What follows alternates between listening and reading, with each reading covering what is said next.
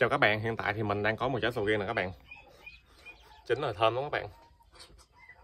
Bây giờ mình sẽ bắt đầu mình mở nó ra mình ăn các bạn. Không biết các bạn mở sầu riêng sao chứ mình mở sầu riêng là y như mệt mít luôn các bạn. Bộ đôi dây luôn cho dễ lấy. Rồi các bạn cùng đón xem mình tiếp tục nha các bạn. Khoảng thời gian gian nan thì mình đã bóc được trái sầu riêng nè các bạn. Nhưng mà nó muối nó không thành muối luôn.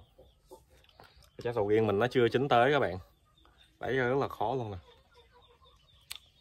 Mình lột nát cái trái sầu riêng luôn đây còn một nửa trái mà chưa bóc nữa mới bóc được một nửa trái thôi nha các bạn. Giờ mình sẽ ăn cho các bạn xem nè. Ừ. nó chưa chín tới nó còn à, nó còn hơi cứng cứng các bạn. Nhưng mà ngọt lắm. Ừ. tuyệt vời. Hẹn các bạn trong những lần mình à, bóc sầu riêng tiếp theo nha. Bye bye.